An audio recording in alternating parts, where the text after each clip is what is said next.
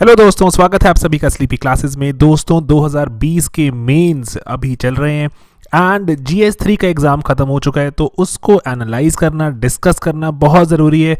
जो आने वाले जो एस्पिरेंट्स रहेंगे, उनके लिए बहुत ज़रूरी रहता है कि कैसे क्वेश्चंस को अटेम्प्ट किया जाए, कि मुझे कितना करंट अफेयर्स करना चाहिए एंड कितना स्टैटिक पर ध्यान देना चाहिए। दोस्तों, यहाँ पर एक बात जो हमें फिर से समझ आती है, वो यही है कि हम अपने कंटेंट को जितना भी इन्हांस करें कंटेंट को जितना भी इम्प्रूव करें करंट अफेयर्स के साथ लेकर चलें, उतना कम रहता है। लेकिन सबसे इंपॉर्टेंट जो चीज़ रहती है यहाँ पर क्या? कि एग्जिस्टिंग कॉन्टेंट को क्या हम मोल्ड कर सकते हैं। इस तरह से मोल्ड कर सकते हैं कि हमारा जो क्वेश्चन पूछा गया है वहाँ पर, वो आंसर हो जाए। ठीक है एग्जिस्टिंग कंटेंट को अगर मोल्ड करना आपको आ गया तो आप आंसर्स कर पाएँगे, जो भी वहाँ पे आपके सामने क्वेश्चन आ जाए। ठीक है दोस्तों तो इसी एक पर्टिकुलर चीज़ को मैं समझाने के लिए आपको यहाँ पर हम बीस सवाल डिस्कस करेंगे, जो जीएस मेन्स में पूछे गए हैं। जो कुछ, जो पार्ट मैं डिस्कस कर रहा हूँ, जो मेरे, जो दायरे में आता है, जैसे इकोनॉमी एंड जैसे साइंस एंड टेक भी मैं डिस्कस कर लूँगा। दो मैं वो नहीं पढ़ा था, ठीक है, लेकिन मैं डिस्कस कर लूँगा। एंड देन मैम पढ़ाते हैं आपको सिक्योरिटी इशूज़ मैम पढ़ाते हैं इन्वायरमेंट डिजास्टर मैनेजमेंट तो मैम वो वाला कॉम्पोनेंट डिस्कस करेंगे at the end of the video ठीक है दोस्तों तो चलिए, शुरू करते हैं जैसे सबसे पहले। इसका ब्रॉडर एक एनालिसिस देख लेते हैं। इकोनॉमी हंड्रेड मार्क्स की आई, इतनी ही आ रही है बहुत टाइम से। दस मार्कर चार क्वेश्चन थे, दस एंड पंद्रह मार्कर चार क्वेश्चन टोटल हंड्रेड मार्क्स ठीक है? एंड बहुत सारा यहाँ पर अगर हम कॉम्पोनेंट देखें, जो स्टैटिक से निकलता है, हमेशा लाइक ऑलवेज ठीक है? स्टैटिक जो हम कंटेंट पढ़ते हैं, जो जैसे फाइनेंशियल इंक्लूजन क्या रहती है इंफ्रास्ट्रक्चर एग्रीकल्चर डेफिनेटली उसको हम अपने कंटेम्प्रेरी चीज़ों के हिसाब से मोल्ड कर सकते हैं एंड तो हम अपने आंसर बना सकते हैं। लेकिन स्टैटिक जो चीज़ें जो हमारी सिलेबस में मैंडेटरी हैं कवर करनी, उनको ढंग से कवर कीजिए एनालाइज कीजिए। जितना आप बेटर एनालाइज करेंगे, उतना मीन्स आपका अच्छा जाता रहेगा। देन सिक्योरिटी इशूज़ हैं फिफ्टी मार्क्स के, दो क्वेश्चन जैसे वही चार क्वेश्चन टोटल हैं, दो दस मार्क्स के, दो पंद्रह मार्क्स के। Then environment disaster management fifty marks का, दो टेन मार्कर दो fifteen marker science and tech two ten markers and two fifteen markers एक दो क्वेश्चन हैं जो बहुत ही ज़्यादा मोल्डेड हैं, जो हमें लगता है कि इन्वायरमेंट में आने चाहिए साइंस एंड टेक में तो you get the hint of it कि ब्रॉडली अगर एक यहाँ पर आएगा तो एक यहाँ चला जाएगा। तो ये जो अकॉर्डिंगली जो क्लासिफिकेशन में हम इतना नहीं उलझते कि ये क्वेश्चन साइंस एंड टेक का है, ये इन्वायरमेंट का है तो हमें बात समझ आ रही है कि बहुत ही इवनली डिस्ट्रीब्यूटेड ये पेपर है एक। एंड जो क्रॉस जो करता है, जैसे एक पर्टिकुलर सब्जेक्ट से दूसरे सब्जेक्ट में चले जाते हैं जो सब्जेक्ट जो क्वेश्चन अकॉर्डिंगली हमें उसके लिए प्रिपेयर होना पड़ेगा। तो दोस्तों, सबसे पहला इकोनॉमी पार्ट के मैं आपको आठ क्वेश्चन डिस्कस करूँगा, जो टेन मार्कर से शुरू कर रहे हैं, पहला सवाल है, वो कहना है कि intra generational and inter generational issues हैं इक्विटी के। कि इक्विटी का मतलब क्या होता है कि समानता, कि अगर, जैसे फॉर एग्जांपल अगर मैं आज बहुत सारा उधार लेकर अपनी ज़िंदगी आराम से काट दूँ तो मेरे बच्चे और उनके बच्चे आगे अपने आप चुकाते रहेंगे। तो वो दैट इज़ नॉट इंटर जो इंटर जनरेशनल इक्विटी की बात नहीं कर रहा मैं।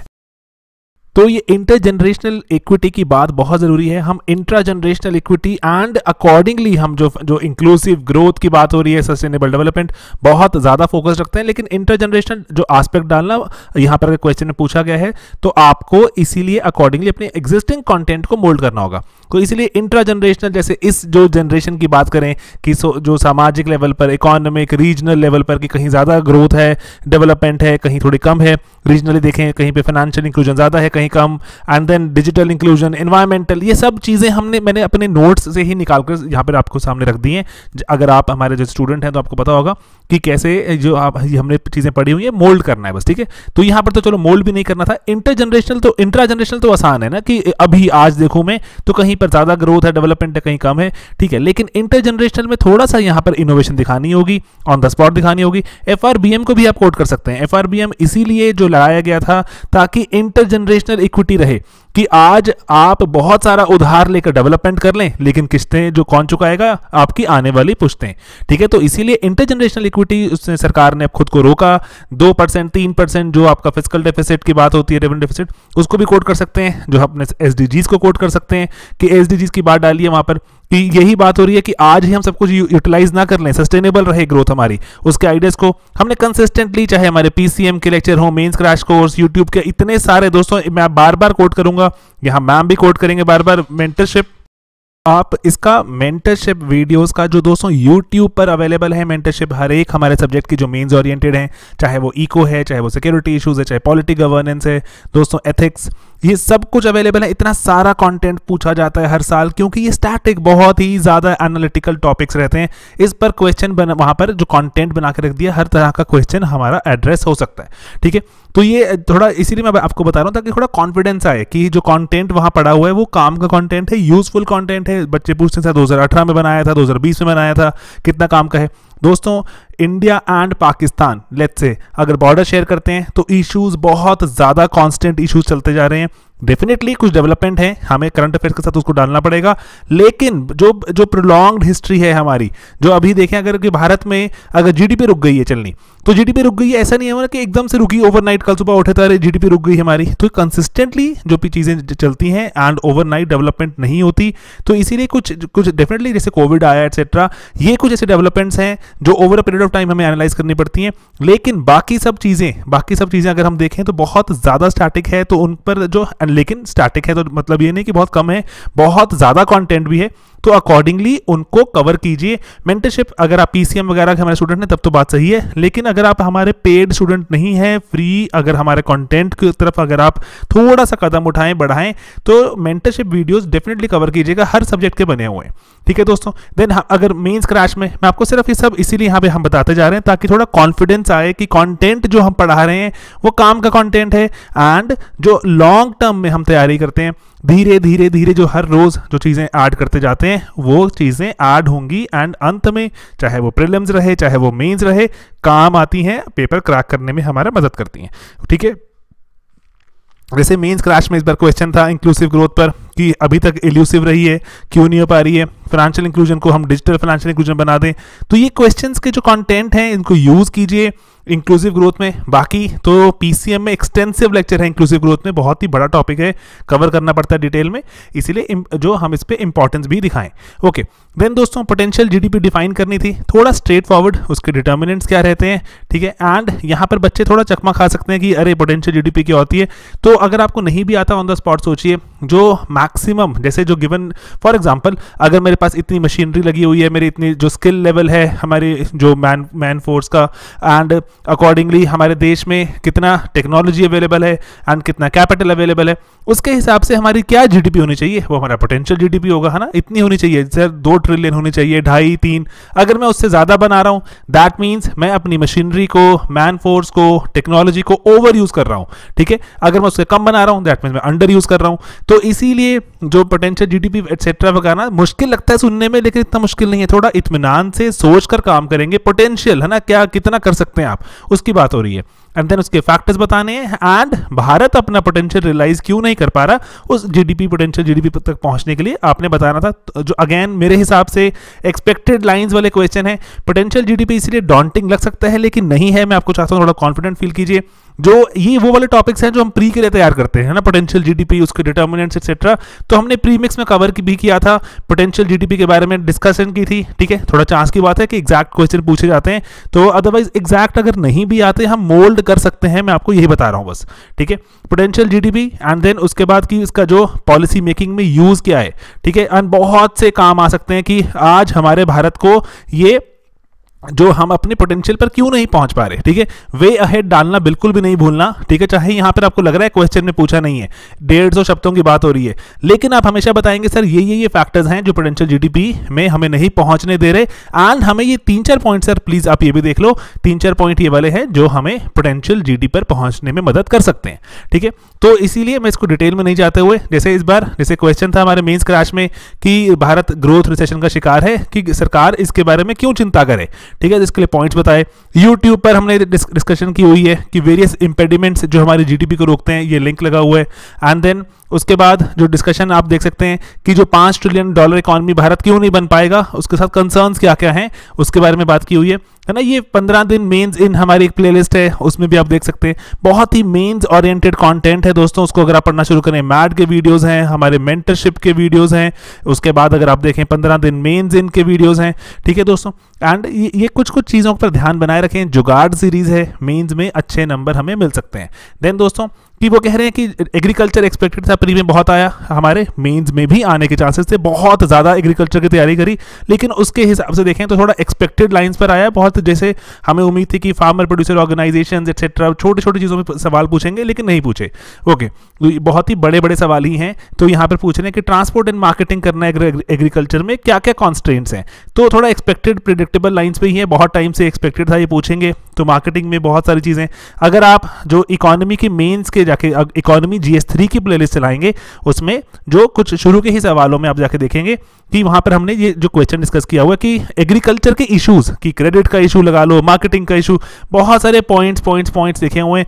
तो जो भी सवाल पूछा है उसमें हम कोड कर सकते हैं, ठीक है? एंड देन क्या हम इसमें वे हेड लिखें कि क्या कर सकते हैं? एंड देन उसके बाद जो भी आप इतने सारे आप कंटेंट कवर करते जा रहे हैं मार्केटिंग को लेकर जो रिफॉर्म चल रहे हैं, अभी सरकार ने बिल भी पास किए, उसके बाद जो ट्रांसपोर्ट को लेकर बिल पास किए रेफ्रिजरेटेड वैन एक्सेट्रा जो नए नए सरकार जो इंफ्रास्ट्रक्चर बनाती जा रही है तो एंड इतना सारा जो इवन की उसके लिए फंड भी आया तो वो सब चीज़ों को आप यूज़ कीजिए लॉजिस्टिक्स को इंप्रूव करने की बात हो रही है एंड देन इवन की देखें कि प्राइवेट सेक्टर को इन्वॉल्व करने की बात हो रही है तो ये सब पॉइंट्स आएँगे, डेढ़ शब्द हैं, आराम से अच्छा स्ट्रक्चर बनाएँ क्वेश्चन को अच्छे स्ट्रक्चर के तहत इंफ्रास्ट्रक्चर बना के कंप्लीट करें ओके एंड देन अगेन इससे ज़्यादा स्ट्रेट फॉरवर्ड क्वेश्चन नहीं हो सकता फ़ूड प्रोसेसिंग की आप चैलेंजेस एंड अपॉर्चुनिटीज़ बताइए कि भारत में चैलेंजेस भी हैं फ़ूड प्रोसेसिंग का अगेन मेंटरशिप लेक्चर में आप गए, वहाँ पर जाकर आपने देखा कि ये पूरा जैसे आप लेक्चर देखेंगे, इस लेक्चर में जो हमारा लेक्चर नंबर सेवन है ये मेंटरशिप में तो टोटल दस लेक्चर्स हैं मेंटरशिप के। दस लेक्चर्स में से इतना कंटेंट निकलता है, कोई आधे घंटे का है तो कोई चालीस पचास मिनट का है। ठीक है, इतना भी नहीं है कि आपको मैं बहुत टाइम डिमांड कर रहा हूँ। ठीक है, आपके रैंक के लिए ये ज़रूरी है। दोस्तों, मैं आपको इतने रिक्वेस्ट कर रहा हूँ कि आप जाके लेक्चर्स देखिए, कितने काम के लेक्चर्स हैं। ठीक है तो वहाँ पर जाकर आप देखेंगे जो फ़ूड प्रोसेसिंग के एडवांटेजेस जो पोटेंशियल कि भारत में क्यों, हमें फ़ूड प्रोसेसिंग इतनी बड़ी कोई चीज़ हो सकती है? एंड कैसे जो हमारे फार्मर्स की आय दोगुनी कर सकती है? इन सब के बारे में जो मल्टीपल तरह से एनालाइज किया हुआ है एंड देन कि फार्मर्स की इनकम कैसे बढ़ सकती है? एंड देन हमने अभी अपने जो टेस्ट सीरीज़ में भी डिस्कस किया था, जो फुल लेंथ टेस्ट में कि स्टेटस बताइए फ़ूड प्रोसेसिंग सेक्टर का, कि अच्छा कर रहा है, बुरा कर रहा है। एंड जैसे आप स्कीम भी थी, जो Pradhan Mantri formalisation of micro food processing enterprises कि माइक्रो फ़ूड जो एंटरप्राइजेस हैं प्रोसेसिंग एंटरप्राइजेस वो कैसे हेल्प करेंगी फ़ूड प्रोसेसिंग में? प्लीज़ डालिए ऐसी चीज़ों को ताकि हमारे आंसर्स जो थोड़े करंट के हिसाब से भी रेलिवेंट बन जाए। ब्रॉडर हम आइडिया समझा देंगे लेकिन करंट के एग्जाम्पल्स डालने से दोस्तों वो मसाला ऐसा तैयार होता है एग्जामिनर आपको नंबर दिए बिना रुक ही नहीं सकता ठीक है? देन अब यहाँ पर जो जो 15 मार्कर शुरू होते हैं चार दस मार्कर थे चार पंद्रह मार्कर 15 मार्कर में पहला क्वेश्चन है कि, कि आप बताइए कि इन्वेस्टमेंट क्या मतलब क्या रहता है in an economy in terms of capital formation कि इन्वेस्टमेंट इन जैसे हम इको सर्वे का एक लेक्चर है हमने जो जो वो यूट्यूब पर भी कवर्ड है, ठीक है eco survey chapter one volume one eco survey की थीम ही दोस्तों पूरी ये थी कि किस तरह से जो सेविंग है एंड देन सेविंग से इन्वेस्टमेंट होती है इन्वेस्टमेंट से कैपिटल फॉर्मेशन हाइपोथेसिस जो उन्होंने दिया था, उसको पूरा आगे वो जो इलाबरेट करने की कोशिश करते हैं। जो बहुत ऐसा भी नहीं है कि एक्सटेंसिव है एंड देन आपने बता सकते हैं कैपिटल फॉर्मेशन होती है कैपिटल फॉर्मेशन होने से आप थोड़ा आगे बता सकते हैं कि जैसे भारत इवन की प्लानिंग में भी इसमें बहुत जो यूज़ किया इसको। एंड देन इसके बाद आप इसको जो मतलब समझाने के बाद कि कि जो प्लानिंग में यूज़ हुआ, उसके बाद हमारे देश में जैसे इनिशियली हमने अगर अपने पीसीएम लेक्चर में अगर आपने देखा हो तो उसको थोड़ा ध्यान से देखिए, मैंने लेक्चर्स अपडेट किए थे कुछ वक्त पहले तो वहाँ पर जैसे कि इवन की जैसे Harrod Domar model etcetera even की जैसे अगर इनिशियल ये प्री में पूछे गए थे सवाल कि जो जे एम कीन्स ने भी ऐसा कुछ बात की हुई है, आप अगर एक दो नाम वहाँ ड्रॉप करेंगे तो अच्छा हमारे वहाँ पे इम्पैक्ट पड़ सकता है कि थोड़ा जो अकेडमिकली सही बात हो रही है। ठीक है कि एंड देन क्योंकि इको सर्वे हम जो पॉइंट्स निकाल के वहाँ डालते हैं अगर तो डेफिनेटली हमारा एडवांटेजियस पोजिशन पे होते हैं क्योंकि करंट हम बात कर पा रहे हैं। लेकिन हम अगर थोड़ा अकेडमिक बात भी करें without really without really doing a lot of name dropping बिना नाम ड्रॉप किए कि कीन्स का नाम लिख सकते हैं इंपॉर्टेंट नाम है। तो आप वो लिख लिख के आगे बता सकते हैं कि कैपिटल फॉर्मेशन के बारे में क्या क्या चल रहा है। ठीक है? कैपिटल फॉर्मेशन मतलब जो लॉन्ग टर्म इन्वेस्टमेंट्स हो रही है। लॉन्ग टर्म इन्वेस्टमेंट कहाँ से होंगी दोस्तों? अगर हमारे कंट्री में सेविंग होगी। सेविंग लेकिन जो हमारा ये बात बतानी बहुत ज़रूरी है। इको सर्वे का लेक्चर भी हमें बताता है कि हर एक सेविंग इन्वेस्टमेंट में तब्दील नहीं होती। ठीक है? हर एक सेविंग इन्वेस्टमेंट में तब्दील नहीं होती। अगर अपॉर्चुनिटी होती है, लगता है कि आगे ग्रोथ दिखेगी, तभी ही इन्वेस्टमेंट में वो तब्दील हो पाती है। तो उसके भी आप कंडीशन बता पा सकते हैं। एक पूरा मॉडल एक तरह का कि आपको राइट अप्रोप्रिएट इन्वायरमेंट क्रिएट करना होगा। एनपीएस वगैरह होते हैं तो बैंक्स अपने वहाँ पर सेविंग बनाए रखते हैं, लेकिन इन्वेस्ट नहीं करते। ठीक है इन्वेस्ट नहीं करेंगे तो कैपिटल कहाँ से फॉर्मेशन होगी? तो इसीलिए आप इसको ऐसे थोड़ी सी ड्रॉबैक्स भी समझाएँ कि यहाँ पर से थोड़ी कमियाँ भी हैं। इस लेक्चर में कवर्ड है, कोई ऐसे घबराने की बात नहीं है। एंड देन उसके बाद था कि जो कॉन्सेशन अग्रीमेंट जो अगर हमने पीपीपी अगर चल, चलाना है तो उसमें कॉन्सेशन एग्रीमेंट बनाना है दो लोगों के बीच में क्या क्या उसके फैक्टर्स हो सकते हैं। तो वो फैक्टर्स हमें जैसे देखा है हमने एक हमारा जो इस बार हम वैसे यहाँ पे मैंने शेयर नहीं किया तो जैसे कि भारत शाइनिंग स्टार था पीपीपी का। अगर आपने जैसे एक पर्टिकुलर लेक्चर देखा हो and it is very very important to share क्योंकि बहुत से बच्चे हैं जो हमारे पेड कोर्सेज में रहते हैं उनको थोड़ा इसी के थ्रू मैं चाहता हूँ भी हम गाइड करना। कि हमारे यहाँ पर एक क्वेश्चन है पीपीपी वाला क्वेश्चन एंड देन उसके पहले एक क्वेश्चन था कि इन्वेस्टमेंट अगर हम करना चाहें अपने इकोनॉमी में तो अभी जो इंफ्रास्ट्रक्चर बहुत ही लो हैंगिंग फ्रूट है, भारत में इंफ्रास्ट्रक्चर में इन्वेस्ट करना एक बहुत ही जो एक ऐसी चीज़ है जहाँ पर हमें रिटर्न बहुत इमीजिएटली मिलेंगे। तो इसीलिए लो हैंगिंग फ्रूट वाला क्वेश्चन आप जाके देखिएगा। उसमें हमने सेक्टर वाइज बताया हुआ है कि सेक्टर वाइज मैंने डिस्कस किया हुआ एक किताब थी जो रिसेंटली आई थी, बहुत सारे इकोनॉमिस्ट ने निकाली थी उसमें समराइज किया था। तो वो सेक्टर वाइज जब हम बात करते हैं तो आप बता सकते हैं कि सर सेक्टर वाइज जो अग्रीमेंट है वेरी करेंगे लोगों के बीच में। ठीक है, जैसे फॉर एग्जांपल रेलवेज के बीच में अगर आप चाहते हैं तो कुछ और वहाँ पे पैमाना रहेगा। ठीक है पब्लिक और प्राइवेट एंटिटी के लिए अगर आप रोडवेज़ में चाहते हैं, अलग होगा पोर्ट्स में अलग कुछ पैमाना हो सकता है तो पहले सेक्टर वाइज जो हमारे फैक्टर्स दे विल वेरी तो एंड अकॉर्डिंगली आप वहाँ पर अगर आप इस तरह से, क्योंकि जो इंक्रीजिंग चाहे आप बोल सकते हैं, विजय केलकर ने भी कहा था कि कोई मॉडल अग्रीमेंट नहीं हो सकता। ठीक है, हमें सेक्टर वाइज वेरी करना पड़ेगा। विजय केलकर कमेटी की रिपोर्ट इंपॉर्टेंट रिपोर्ट रहती है पीपीपी में। हम स्टडी भी करते हैं हमारे लेक्चर्स में अवेलेबल भी है मेंटरशिप में भी डाला हुआ मैंने ठीक है? तो इसीलिए आप उसको देखें एंड अकॉर्डिंगली अपने आंसर को फॉर्मुलेट करें। ओके देन दोस्तों जीएसटी का जो कॉम्पनसेशन वाला जो चल रहा था कि कोविड नाइन्टीन के चलते जब स्टेट्स को सरकार ने पहले कहा था ना कि हम कंपनसेट करेंगे अगर आपका शॉर्टफॉल होगा लेकिन सरकार ने रिसेंटली कहा पैसे नहीं है हमारे पास। दोस्तों तो, तो आप जाके बोरो कीजिए। तो उसके बारे में हमने रिसेंटली दस दिसंबर को हमने अपना प्री क्योर भी किया था। उस प्री क्योर में हमने, मैंने आपको ऑप्शन वन ऑप्शन टू समझाई थी कि किस तरह से जो कॉम्पनसेशन एक्ट के तहत चलते हुए अभी शॉर्टफॉल थोड़ा विटनेस हो रहा है। तो शॉर्टफॉल के चलते ऑप्शन वन कह रहती है ऑप्शन टू कह रहती है वो आप देख सकते हैं। तो बहुत मुश्किल सवाल नहीं था स्ट्रेट फॉरवर्ड करंट अफेयर्स का डायरेक्टली उठा के पूछ लिया। थोड़ा सा पुराना, लेकिन अभी न्यूज़ में है। ऑप्शन वन ऑप्शन टू आप समझाएँगे। उसके जो फेडरल टेंशन की बात भी चल रही है कि कुछ स्टेट्स हैं, झारखंड, जैसे लास्ट स्टेट थी जिसने ऐड हुई यहाँ पर, झारखंड कह रही थी कि ये सही काम नहीं है, आप अपने वादे से मुकर रहे हैं, लेकिन सरकार ने कहा था एक्ट ऑफ़ गॉड है तो अकॉर्डिंगली हम वादे से मुकर सकते हैं, क्योंकि हमारे हाथ में ये चीज़ नहीं है। तो यहाँ पर कि पर्टिकुलरली जो स्टेट्स ने, जो वादा जो स्टेट्स को वादा किया गया था बाय द सेंटर उस पर सेंटर थोड़ा रेनेज कर रहा है। लेकिन अकॉर्डिंगली सेंटर ने बहुत सारी यहाँ पर जो, कुछ ऐसे ऑप्शन वन में ऐसे ही कुछ कंसेशन भी दे रहा है कि आपका कुछ जो हम किस्त हम चुका देंगे अकॉर्डिंगली तो आप यहाँ पे जो फाइनेंशियल उसकी बात कीजिए कि पहले तो फाइनेंशियल जो पावर आउट गो हो गई है, जो सेंटर ने जो जो सॉरी स्टेट्स ने जो अपनी पावर को थोड़ा फोर गो किया, वहाँ पर सेंटर की रिस्पॉन्सिबिलिटी बढ़ जाती है। लेकिन अब सेंटर अगर उसको एक्ट ऑफ़ गॉड कह के अगर उससे अपने हाथ छुड़ा रहा है तो ये जो थोड़ा लैक ऑफ़ ट्रस्ट क्रिएट करेगा, ठीक है between the centre and the states ठीक है एंड देन उसके बाद आप ये बता सकते हैं कि स्टेट्स की भी कैपेसिटी बहुत लो होती है बोरो करने की एंड अकॉर्डिंगली एफआरबीएम एक्ट के तहत भी स्टेट्स पे बहुत ज़्यादा बंदिश है।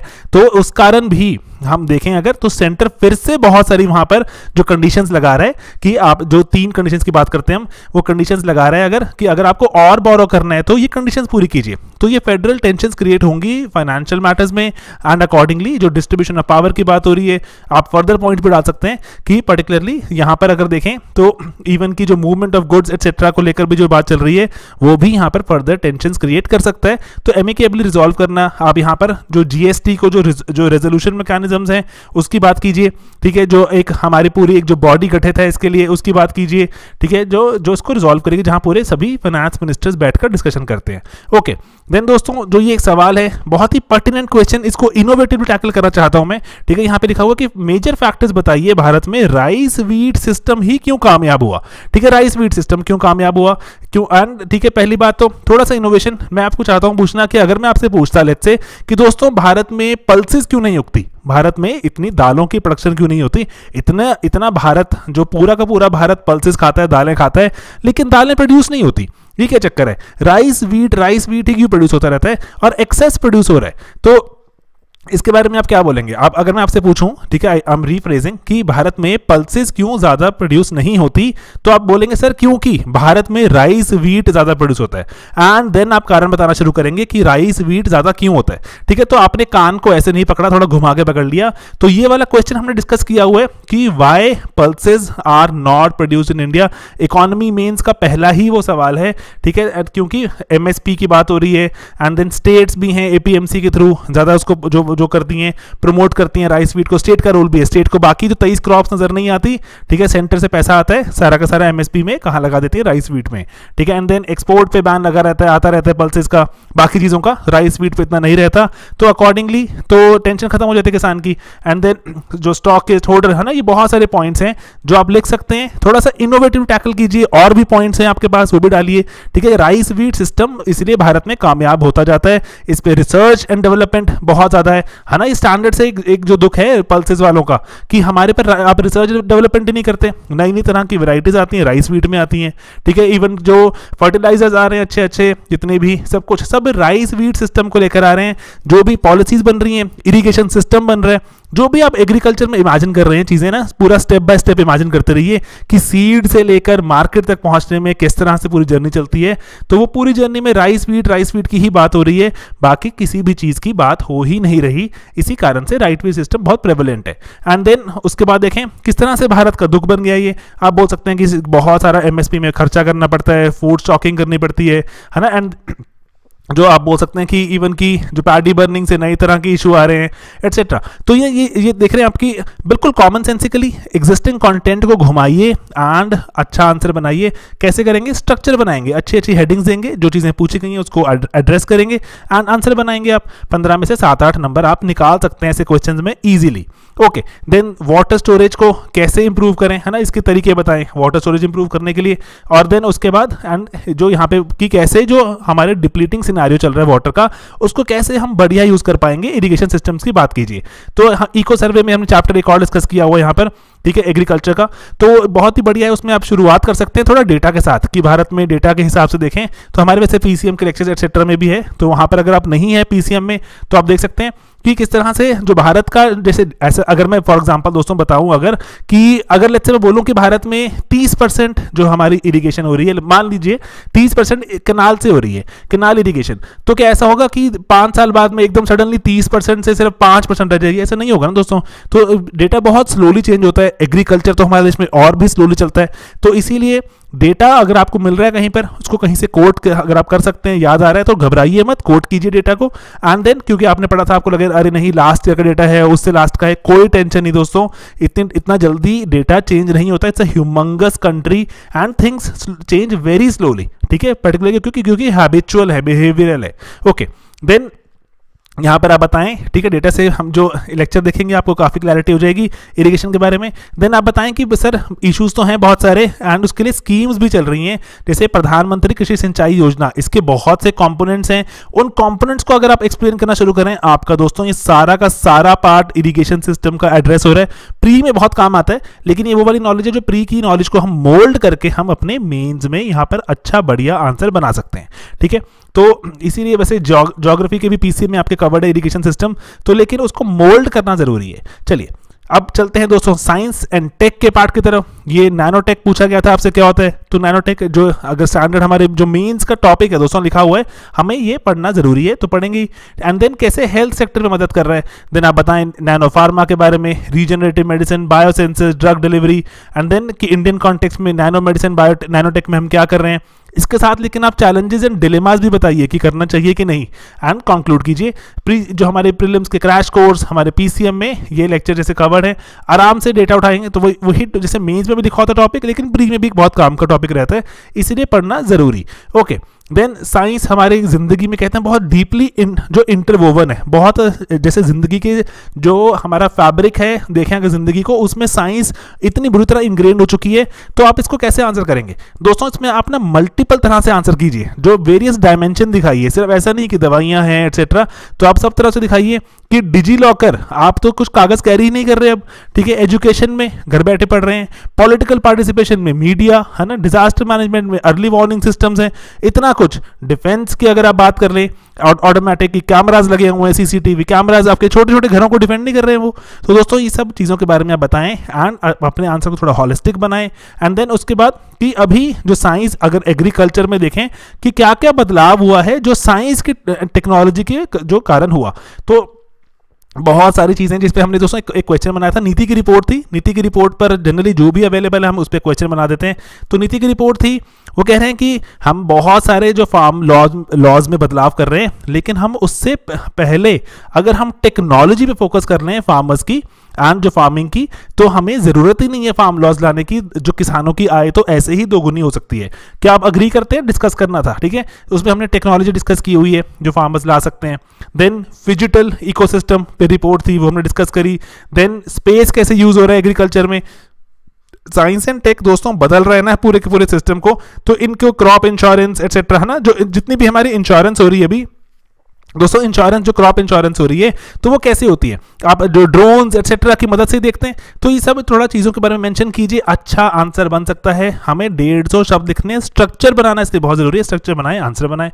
ओके देन वो कहने हैं कि कोविड 19 के चलते अनप्रेसिडेंटेड डेवस्टेशन हुई दुनिया में। बहुत बढ़िया जी। बहुत बढ़िया तो नहीं, चलो। And then however technological arrangements are being availed ठीक है कि कह रहे हैं कि इस तरह से टेक्नोलॉजी ने आकर कि हमें क्राइसिस को जीतने में मदद करी। ओके एंड देन कह रहे हैं कि कैसे टेक्नोलॉजी को हमने इसमें जो अपनी पूरी पैंडेमिक को मैनेज करने में कैसे यूज़ किया। देन आप बताएँ इसमें कि क्या क्या डेवस्टेशन हुई। एंड देन टेक्नोलॉजी ने कैसे उसको मिनिमाइज करने की कोशिश करी। कहाँ कहाँ पे बताएँगे आप? इन्फॉर्मेशन जो हमने पहले गैदर करी, फटाफट से लोगों को पता लग रहा था कि घर बैठे कि क्या करना है, क्या नहीं करना। And then physical interaction reduce हुई। उस फ़िज़िकल क्योंकि आपने कहा था ना सोशल डिस्टेंसिंग करनी है तो सर लेकिन मैं मीटिंग कैसे करूँगा मैं? मैं कॉलेज स्कूल कैसे अटेंड करूँगा? तो जूम मीटिंग्स की ईजाद की हमने। बिल पेमेंट शुरू हो गई। डीबीटी घर बैठे पहुँच रहे तो इसीलिए आप इसको और भी बता सकते हैं कि जैसे हमने, जैसे एक रिसेंटली हमने मेंस के उसमें टेस्ट में सवाल पूछा कि जैसे जो डिजिटल इंडिया ने बहुत मदद करी हमारी पेंडेमिक को जीतने में। क्या आप आपने समझाना था कैसे? ठीक है? एंड देन उसके बाद हमने कहा कि पेंडेमिक के कारण, जो हमारे इसी टेस्ट में क्वेश्चन और भी था पेंडेमिक के कारण जो फ्यूचर आने वाला था, अब बहुत जल्दी जल्दी आ रहा है। ठीक है, इस कॉन्टेक्स्ट में आपने बताना था कि क्या भारत को मैन्युफैक्चरिंग करनी चाहिए कि नहीं? तो लेकिन आपने यहाँ पे समझाना था कि सर नई नई तरह की चीज़ें आ रही हैं, ठीक है? जो इंडस्ट्रियल रेवोल्यूशन फोर हम बात करते थे हो रही है, शुरू हो चुकी है। तो ये सब चीज़ें आप बताएँ कि किस तरह से भारत इसमें जो भारत क्या कर रहा है, दुनिया में क्या हो रहा है एंड अकॉर्डिंगली क्या चैलेंजेस हो सकते हैं हमारे सामने एंड हमें किस पे फोकस नहीं करना चाहिए, किस पे करना चाहिए दैट्स इट हमारा अच्छा आंसर बनेगा, हमें नंबर भी मिलेंगे। ओके देन यहाँ पर एक जैसे इन्वायरमेंट का क्वेश्चन मान लीजिए या साइंस टेक का मान लीजिए कि इलेक्ट्रिक एनर्जी के आपने बेनिफिट बताने थे, जो कि सनलाइट से निकलती है। इन कॉन्ट्रास्ट टू कन्वेंशनल जो कन्वेंशनल मतलब जैसे कोयला एक्सेट्रा से बनती है, उसके बदले देखें तो सनलाइट वाली बिजली के क्या क्या फ़ायदे हो सकते हैं? ठीक है मतलब सिंपल है कि इलेक्ट्रिसिटी जनरेशन फ्रॉम जो सन हो रहा है सोलर पार्क एक्सेट्रा उसके आपने फ़ायदे बताने ठीक है एंड भारत सरकार के इनिशिएटिव्स बताने इस पर्पज के लिए। थोड़ा straightforward question regularly news में ऐसे कोई चमत्कारी बात ही नहीं है दोस्तों, अभी तक पेपर में except a couple of question जहाँ पर आपकी कोई डेप्थ की नॉलेज चेक होती है, वरना तो आप बहुत ज़्यादा जो आप नॉलेज गैदर करते हैं, उसको अरेंज करना है। ठीक है, भारत के सोलर अलायंस के बारे में बताइए। सोलर जो पोर्टल्स के बारे में बता सकते हैं सोलर पार्क्स की गाइडलाइंस ठीक है? जो ओवरऑल जो अगर हम बताते हैं कि सोलर एनर्जी से हमें क्या क्या फ़ायदे हो सकते हैं, जो हमारे कोयले की एनर्जी से नुकसान है सोलर से फ़ायदे हैं। लेकिन आप हमेशा ही हमेशा ध्यान रखें कि सिर्फ़ अगर पॉजिटिव पूछे गए हैं तो दो तीन नेगेटिव भी बताएँ, चाहे पूछे नहीं गए नेगेटिव भी बताएँ कि लैंड एक्विजिशन की बात हो रही है टेक्नोलॉजी की बात हो रही है डिपेंडेंस रहती है चाइना पर एंड हमारे यहाँ पर अभी है नहीं एंड अकॉर्डिंगली जो आप बोले कि इवन की, जो अगर हम सोलर की बात भी करें तो उसके भी जो प्राइसेस बहुत रेगुलरली ड्रॉप हो गए एंड अकॉर्डिंगली जो बहुत सारे कॉन्ट्रैक्ट्स थे, जो कंपनीज़ ने किए हुए थे इवन की सरकारों ने, उसको भी सरकार ने मुकर गई रेनेज कर दिया। तो इन, ये सब टेंशन तो है ही है इलेक्ट्रिकल एनर्जी की बैटरी चाहिए होती हैं एंड क्लाउडी वेदर में नहीं बनता, है ना? जो सिंपल सिंपल चीज़ें दिमाग में रखिए।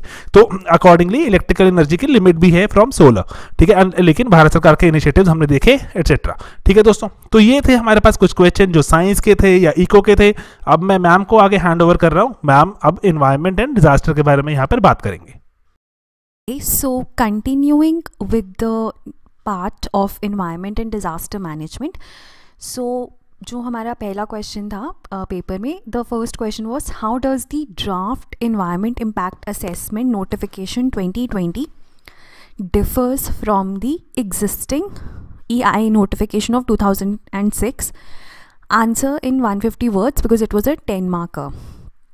Right so fairly simple question था. इनफैक्ट हमने जो हमारा मीन्स का क्रैश कोर्स था उसमें जो इन्वायरमेंट का फ़र्स्ट लेक्चर था उसी में हमने uh, ये क्वेश्चन डिस्कस किया था. Basically what we discussed was critically analyse the significance of the new draft notification so basically अगर हम देखें तो दोनों क्वेश्चन में बात हमने वही लिखनी है कि जो नई हमारे पास नोटिफिकेशन है, वो कैसे बेहतर है और उसका क्रिटिसिज्म क्या है compare to the notification of 2006 so, this was a question which was very much expected in this year's mains, right? और the idea is to write it in a correct structural form ठीक है? आपको अपना structure master करना है like any other question ठीक है? सो I would say कि ये फेयरली सिंपल क्वेश्चन था। आपको सिर्फ़ दस मार्क्स का क्वेश्चन था तो कोई फालतू की बात नहीं करनी थी। जैसे कि हम स्ट्रक्चर में बात करते हैं कि हम इंट्रोडक्शन देते हैं ठीक है? उसके बाद we write about the body and the conclusion this is the basic structure ठीक है?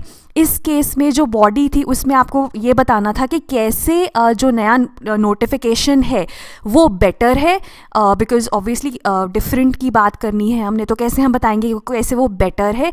But at the same time उसमें कुछ पॉजिटिव्स भी हैं। Sorry at the same time उसमें कुछ क्रिटिसिज्म भी है। कैसे बेटर है कि मतलब जो प्रोसेस है, उसको छोटा कर दिया गया है ऑनलाइन है ट्रांसपेरेंट है these are the positives. And as far as the cons go you can always write that the post facto approval ko bhi uh, इसमें इंक्लूड किया गया है राइट एंड जो पब्लिक कंसल्टेशन का टाइम है उसकी जो ड्यूरेशन है वो थर्टी डेज़ से ट्वेंटी डेज़ कर दी गई है। So all of that and finally अगर once you have address the body then you can write the way forward and the conclusion तो सिंपल क्वेश्चन था इतना कोई मुश्किल नहीं था और बहुत ही प्रडिक्टेबल लाइन्स पे ये क्वेश्चन था। लाइक लाइक आई सेट कि हमने uh, जो ये क्वेश्चन हमने डिस्कस किया था अपने क्रैश में तो उसमें हमने पॉइंट्स डिस्कस किए थे एक एक uh, फीचर को एनालाइज किया था कि उसमें क्या इशू है we discussed it that way right now जो नेक्स्ट क्वेश्चन था ये जल शक्ति अभियान पे है। uh, जो जल शक्ति अभियान है ये भी न्यूज़ uh, में था because it was launched in 2019 only तो गवर्नमेंट ने ये लॉन्च किया था कि uh, जो वाटर सिक्योरिटी है वाटर कॉन्जर्वेशन को इंश्योर करने के लिए कम्युनिटी पार्टिसिपेशन को इंश्योर करने के लिए तो इसके सेलियंट फीचर्स हमने डिस्कस करने थे।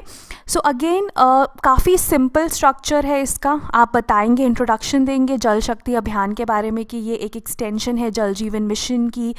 जिसमें पाइप सप्लाई देनी है हाउस होल्ड्स को और Jal Shakti Abhiyan is focused more on the community participation right then you will go on to the features then you will write certain challenges and finally way forward and conclusion right so ये भी हमने अपने premix में cover किया गया था and काफ़ी ज़्यादा डिटेल में कवर किया था. So that is what I want to stress upon is कि जब हम मेन्स uh, तक पहुँचते हैं ठीक है like you are writing mains तो पहली चीज़ when you are writing mains ठीक है ऑब्वियसली आपने प्रिलिम्स क्लियर किया है तो आपकी नॉलेज बेस ठीक ठाक सा है लेकिन जब आप मेंस पहली बार लिखते हैं ना तो आपको अपने स्ट्रक्चर पे काम करना है, ठीक है आपको इंट्रोडक्शन में क्या लिखना है बॉडी में क्या लिखना है कंक्लूजन में क्या लिखना है, आपको डायरेक्टिव्स पे काम करना है राइट right? जो कंटेंट वाला पार्ट है, वो आपका तैयारी से बेहतर होता रहता है right right? Okay then moving on to the uh, next question. So next question was regarding national clean air program initiated by the government of india. Again आप देख रहे हो कितना सिंपल फॉर्म ऑफ़ क्वेश्चंस हैं ये और इतने predictable questions हैं ये। देखो ये भी 2019 में आया था एनसीएपी और तभी इतना ज़्यादा न्यूज़ में था ना कि हमें लग रहा था कि पेपर में आएगा ही आएगा। इनफैक्ट तब हमने अपने जो हमारा मैड आता है which is mains a day initiative जो फ्री इनिशिएटिव है जो हम मेन से पहले शुरू करते हैं। It comes at ten A M every day तो उसमें हमने एन सी ए पी को काफ़ी डिटेल में कवर किया था। In fact we made a question do you think N C A P will help Indian cities in combating air pollution right तो वही मैं आपको बता रही हूँ कि इतना ज़्यादा प्रडिक्टेबल लाइन्स पे ये क्वेश्चन हैं और इनफैक्ट इसका अगर हम क्वेश्चन देखें तो फॉर्मेशन इज़ सो ईजी कि आपको सिंपल फीचर्स बताने हैं। तो ये वाले जो क्वेश्चन होते हैं ना, जब यू पी एस सी ने लेवल इतना मतलब ओके ओके कर दिया है कि आपको डायरेक्ट क्वेश्चन पूछ रहा है तो आपका जो स्ट्रक्चर है और जो कॉन्टेंट है, दोनों ही बहुत ज़्यादा इंपॉर्टेंट हो जाते हैं। जो क्वेश्चन भी पूछा गया है, वही लिखिए डोंट वेस्ट योर टाइम इधर उधर अगर आपसे की फ़ीचर्स पूछे गए एन के तो वही की फ़ीचर्स लिखिए उसमें क्या चैलेंजेस हैं और उनको कैसे ओवरकम किया जा सकता है एंड फाइनली कंक्लूजन ठीक है? So that is the only thing again an Uh, अगर हम बात करें तो एयर पोल्यूशन के ऊपर था कि P M two point five और पी एम टेन का लेवल हम कम करेंगे बेस ईयर दो हज़ार सत्रह था तो आप इंट्रोडक्शन में वो बता सकते हो। Then you can go into the you know features कि इसमें कैसे monitoring and all that will be increase है ना? So all of that right okay so so, next uh, जो हमारा क्वेश्चन है ये थोड़ा मुझे लगा कि इसमें आपका थोड़ा स्ट्रक्चर इंपॉर्टेंट uh, हो जाता है। So the question is discuss the recent measures initiated in disaster management by the government of India departing from the early reactive approach देखो uh, जो ये क्वेश्चन uh, है ना इसमें बेसिकली अगर हम बात करें तो अभी रिसेंटली uh, जो इतने भी डिज़ास्टर्स हुए हैं तो उसमें ना प्रोएक्टिव अप्रोच रहती है कि जैसे साइक्लोन फ़नी साइक्लोन तितली की बात करें अगर हम तो हमने पहले ही उनको डिटेक्ट करने की जो हमारे पास सोर्सेज हैं ठीक है जो टेक्नोलॉजिकल सोर्सेज हैं उनको हमने बढ़ाया है ठीक है government is working on that कि हम पहले ही प्रोएक्टिवली ही डिटेक्ट कर पाए क्योंकि ये होने वाला है। उसके बाद हम लाइव्स का लॉस प्रिवेंट कर पाए इंफ्रास्ट्रक्चर का लॉस प्रिवेंट कर पाए ठीक है तो उसके लिए गवर्नमेंट बहुत इनिशिएटिव्स ले रही है। जैसे recently national plan platform on disaster risk reduction है हमारे पास सी डी आर आई है सो so, बहुत सारे वो इनिशिएटिव्स हैं वो ले रहे हैं तो उसके बारे में हमें बात करनी थी। अब हमने डायरेक्टली तो ऐसा क्वेश्चन डिस्कस नहीं किया हुआ, लेकिन हाँ हमने ना अपने क्वेश्चन में ये ज़रूर डिस्कस किया है कि जो इंडिया है ना, अब India is more focusing on improving the resilience ठीक है? जैसे कि हमारी जो प्रोएक्टिवनेस है उसको बढ़ाने के लिए मतलब हम रिस्क असेसमेंट पे ज़्यादा फोकस कर रहे हैं, हम अपनी वनरेबिलिटीज़ को डिटरमाइन करने में ज़्यादा फोकस कर रहे हैं। तो बेसिकली आप एक तो इंट्रोडक्शन में ये लिख सकते हैं कि कैसे जो इंडिया है वो प्रोएक्टिव की तरफ़ ज़्यादा बढ़ रहा है rather than being focused upon the reactive approach ठीक है? सो इसमें you can actually write about the हमारा डिज़ास्टर मैनेजमेंट एक्ट वो मेजर्स ठीक है? क्योंकि उसमें भी वनरेबिलिटी और रिस्क असेसमेंट की बात की जा रही है और रीसेंट मेजर्स में हम जो कॉलेशन है सी डी आर आई उसकी बात कर सकते हैं N P D R R की बात कर सकते हैं, कैसे स्टेट्स और सेंटर की जो कोऑर्डिनेशन है, उसकी बात कर सकते हैं। So all these measures can be written in this part of the question right okay तो ये हमने जो भी कवर किया हुआ है in our various initiatives that I have given the screen shots then next question जो नेक्स्ट पार्ट है वो सिक्योरिटी इश्यूज़ के ऊपर है. नेक्स्ट क्वेश्चन है हमारा discuss different type of cyber crimes and measures required to be taken to fight the menace ठीक है सो ये काफ़ी ज़्यादा ईजी क्वेश्चन है. ठीक है, और हमने मिलता जुलता क्वेश्चन डिस्कस किया हुआ था अपने जो हमारा पी सी एम बैच में जो हमने क्वेश्चन दिए थे सिक्योरिटी के कुछ मॉडल मॉडल आंसर्स के साथ क्वेश्चन दिए थे तो वो हमने डायरेक्ट वो क्वेश्चन डिस्कस किया होता तो बट नंदिलेस ये एक ऐसा क्वेश्चन है इसमें प्रॉब्लम आपको ये आएगी कि 10 नंबर का क्वेश्चन है डेट्स और वर्ड्स में आपको सारे साइबर क्राइम्स लिखने हैं और मेजर्स लिखने हैं, ठीक है? Because everyone would be knowing so much of this topic कि वो दिल just you know blurt it out तो the point is to stick to the word limit और जो जो इंपॉर्टेंट है, वो वो लिखे। यहाँ पे जो इंपॉर्टेंट चीज़ है ना, वो की आ जाते हैं, ठीक है? सो लाइक आई सेट कि कंटेंट तो इज़ द प्राइमरी रिक्वेजिट लेकिन structure is the most important part और ये क्वेश्चन भी उसी को प्रूव कर रहा है राइट ओके okay. ठीक है। उसके बाद जो हमारा नेक्स्ट क्वेश्चन है, ये हमारे मेंस के सिक्योरिटी इश्यूज़ सेक्शनल टेस्ट पे भी हमने काफ़ी कुछ इसका डिस्कस किया हुआ है राइट इनफैक्ट जो हमारा टेस्ट था, उसमें हमने ये भी डिस्कस किया था क्योंकि ना बहुत ज़्यादा न्यूज़ में आ रहा था कि कोविड नाइन्टीन की वजह से क्योंकि ऑनलाइन ही हो गया है सब कुछ तो जो साइबर अटैक्स हैं वो भी बढ़ जाएँगे। ठीक है, ये हिंदू का आर्टिकल था तो हमने इसी के ऊपर एक क्वेश्चन बनाया था। इनफैक्ट आप जब कॉन्क्लूजन लिख रहे हो या इंट्रोडक्शन लिख रहे हो तो उसमें भी आप कुछ रीसेंट जैसे इवेंट्स के साथ जोड़ सकते हो तो ये आप उसमें ये वाला एग्ज़ाम्पल भी आप दे सकते थे right just to make your answer a little different and in sync with the contemporary times then the next is question is on the border management और इसमें हमारे पास बात की गई है कि कैसे हम uh, जो लोकल्स uh, हैं उसमें फेवरेबल परसेप्शन की बात करें है ना? सो सिंपल टेन मार्कर था तो आपको इसी की बात करनी थी। थोड़ा बहुत आप बॉर्डर मैनेजमेंट के बारे में बताएँ ठीक है? मतलब मतलब as an like you can give the introduction ठीक है? उसके बाद थोड़े बहुत आप थ्रेट्स uh, की बात कर सकते हैं कि हमारे बॉर्डर एरियाज़ में क्या थ्रेट्स हैं। And why is the role of the locals important and then you can just write about the steps कि आप वहाँ कैसे वहाँ पे डेवलपमेंट करें ठीक है? एक हमारी जो स्ट्रैटेजी है वैम winning heart and mind strategy ठीक है? इंफ्रा डेवलपमेंट ऑल दैट तो कैसे फंडिंग अगर वहाँ पर ज़्यादा जाती है स्कूल्स ज़्यादा बनेंगे ठीक है? जॉब्स क्रिएट होंगी all of that points could be included in this part of the question and you have covered this in our border management और ये मेंटरशिप लेक्चर्स बहुत बहुत बहुत इंपॉर्टेंट है। हर साल ये रेलिवेंट है क्योंकि बेसिक्स uh, सब कुछ हमने कवर किया हुआ है तो यूट्यूब पे पूरी प्ले लिस्ट है। प्लीज़ अगर आप सिक्योरिटी प्रिपेयर कर रहे हैं तो इससे ज़रूर प्रिपेयर कीजिए even if you are not part of a paid initiatives then the next question is regarding left wing extremism तो इसमें डिटर्मिनेंट्स हैं। तो वो लेफ़्ट विंग एक्सट्रीमिज़म के uh, जो डिटर्मिनेंट्स है वो स्टैंडर्ड ही हैं। ठीक है? Eastern part of the India में प्रेवलेंट uh, है। ठीक है? उसके बाद गवर्नमेंट को क्या मेजर्स लेने चाहिए? तो ये काफ़ी ज़्यादा स्टैटिक uh, में से क्वेश्चन आया है। कुछ भी इसमें करंट uh, का पार्ट नहीं है। एंड फाइनली मेंटरशिप में again we have covered everything regarding the left wing extremism in detail तो that would have helped you right and finally जो हमारा लास्ट क्वेश्चन है, ये है analyse internal security threats and trans border crimes along Myanmar Bangladesh and Pakistan including L ठीक है सो आपको basically जितने भी थ्रेट्स हैं, ठीक है, वो बताने हैं। और uh, उनके नाम बता दीजिए ठीक है?